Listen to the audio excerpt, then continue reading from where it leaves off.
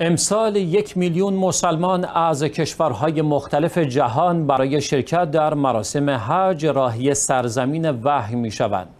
به رغم اینکه این تعداد از سوی وزارت حج عربستان تعیین شده اما تا کنون سهم هر کشور تعیین و اعلام نشده است.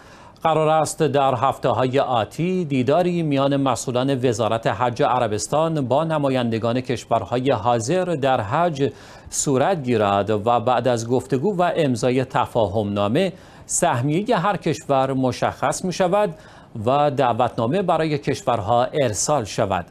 گفتنی است پیش از انتشار و همهگیری بیماری کرونا در حج تمتع سال 1398 حدود دو میلیون و 500 هزار نفر از حجاج داخل و خارج عربستان در مراسم حج تمتع حضور یافتند. اما همهگیری کرونا موجب شد که طی دو سال اخیر مراسم حج با تعداد محدودتر و فقط از حجاج داخل عربستان برگزار شود.